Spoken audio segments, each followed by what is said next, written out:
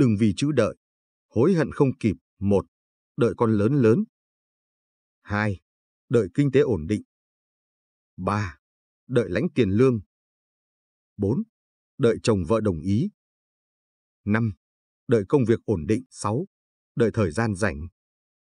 Bảy, đợi nghiên cứu thêm. Tám, đợi suy nghĩ thêm.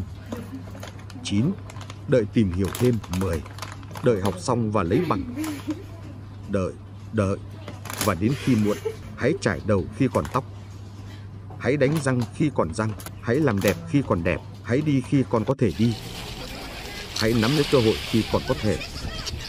Đừng đợi đến khi phải nói giá như nhân sinh có 6 điều không thể chờ đợi, nghèo khó không thể đợi, thời gian trôi qua, bạn sẽ chết vì đói, khỏe mạnh không thể đợi, thân thể suy kiệt, mọi thứ đều vô nghĩa, giáo dục không thể đợi, cây non mà siêu vẹo, khi trưởng thành rất khó uốn nắn, hiếu kính không thể đợi, cha mẹ mất, hiếu kính cũng chẳng còn cơ hội, tình bạn không thể đợi, cô đơn khó thoát.